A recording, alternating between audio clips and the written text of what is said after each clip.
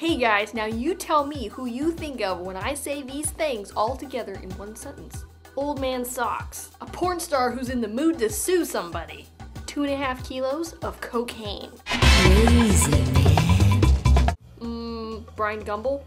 No! You're very close though. Charlie Sheen! Yeah, that's right, Charlie Sheen is in trouble again! Ah, it's such a shocker, isn't it? I know! Charlie Sheen says he is not panicking after he had a horrible night at a Plaza Hotel where he wrecked the entire hotel room as well as trapped porn star Caprice Anderson in the bathroom and threatened her.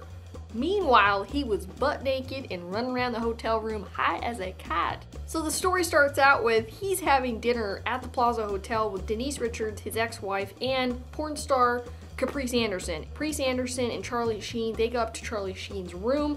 Money is exchanged, supposedly, right? But get this, this is the great part. She claims, I am not a prostitute. I don't know why the media is calling me that. Here's my version of Caprice Anderson. I'm not a prostitute. Prostitutes have sex for money. I'm a porn star. We have sex for money. See the difference? I don't know why my Caprice Anderson sounds like a Muppet, but I think it works. Charlie Sheen was mean to me. I'm gonna sue him for lots of money. Anyways, moving on. So basically, they get up to the room.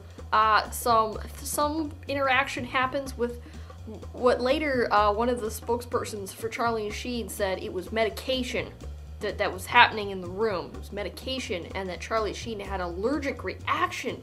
Oh my god, that's so severe. That's so rare. Then he threatens Caprice and says, Where's my wallet? You've stolen my wallet, you prostitute, I mean porn star. Not too long after that, police show up. Now, here's my favorite part of this story, and that is the police could not subdue.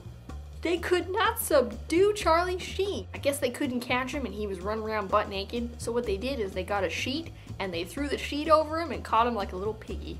The funniest part of the image in my mind of that actually happening, Charlie Sheen running around naked and the police catching him, is I think he was still wearing the socks. I wonder if the prostitutes know that they should charge extra if he wears the socks. They should. They should totally charge extra for that because that is some nasty. A pretty crazy story about Charlie Sheen. If you want for more information, look at the Dibbly Doo. Uh, there's more info in there down below. Click on it, and there'll be lists of links where you can uh, find out more information about Charlie Sheen and the craziness. So I think the moral of the story here is don't do drugs. I really, I think it is. I think that's the moral of the story because, you know, you never know when you could have an allergic reaction. Alright guys, that's it for me on the story about Charlie Sheen. Now I want to hear from you. What do you think? Do you think that Charlie Sheen is just like crazy now? Do you think that he can recover? Do you think he should go to rehab? Should he not go to rehab? Oh, ah, there's so many questions. What do you think of Two and a Half Men, the show? Do you like it? Do you think it's really funny still? Do you think it sucks? Do you think he's getting overpaid? Do you think he's getting underpaid? Ah, there's so many questions. All right, tell me all about it in the comments. Boom, right there. And I would love to hear from you. Other than that, I will see you in the next video. Cool, cool.